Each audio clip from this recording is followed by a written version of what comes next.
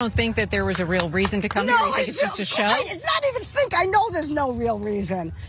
I know it in my heart. I know it in my spirit. He has never lied about anything.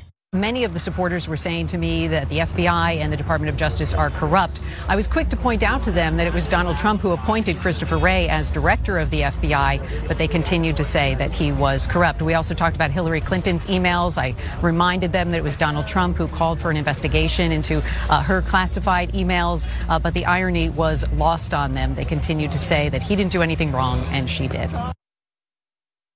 So that is Randi Kaye of CNN um, doing God's work in talking to these people who I would describe as definitely sane.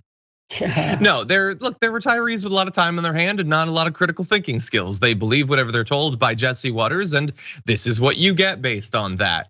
Uh, no, none of those facts are going to get through them. It's great that Randi Kaye tried to remind them that, like, no, he picked all these people. Why does he keep picking corrupt people if he's the best? If he's the best, the best people? Why does he keep people keep picking these people who are actually corrupt and inevitably it turns out that they're in the deep state or whatever? Um, the, the fact that he got them to chant lock her up for years about her having an email server or whatever, but him literally stealing boxes of documents and refusing to give them back. It isn't even that now that he's been raided, they're willing to say, "Oh, they're both bad, so let's let's let's forget about it." No, they're saying he's still not bad despite him using his personal phone and basically everyone in the White House doing exactly what it was that infuriated them for so many years with Hillary Clinton, it doesn't make them both bad. He's still fine. They will not, there is no fact that won't wash off their back. You were saying earlier in the show that they're they're not a cult, that not all of them are, not some of the members of the Secret Service. And I, and I agree, not everyone is but some percentage, man, they are as devoted as any robe wearing cultist. Oh, absolutely. And and when I said not a cult, I meant members of the GOP. Like there are Republicans who are not in this cultist following of Donald Trump at all. But these individuals who are are extremely scary because you're absolutely right in terms of them not necessarily having the analytical skills or even just the logic or possibly sanity. Because really, it's it, it would be one thing if people said, well, I just don't want the rules to apply to him. Like I mm-hmm. recognize there's possible hypocrisy in that, but I'm cool with that. I would respect that to the end of time.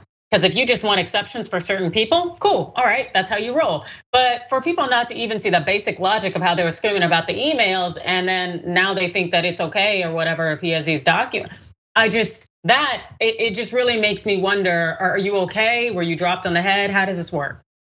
Yeah, hundred percent. No, there's just there's no like again, like we we we feel this need to point out the hypocrisy because hypocrisy sh- we should all be able to agree that it's wrong that we should try to live our lives with some sort of principles principles that apply to multiple situations and are to the extent that we're capable as basically barely evolved chimpanzees able to apply principles fairly both to people we like and people we don't. But that is not a universal value it's not even a universal value across all of the left. Let's keep it real. But for the right, no, they don't value it. They value power. They value people who get away with crimes. They want to get away with crimes. Thus, their inspiration are going to be people who get away with crimes. They don't care. They're not interested. He could he could have been using Hillary's secret server and it wouldn't care. Nothing's going to get through to them. They like Trump, thus he can do no wrong.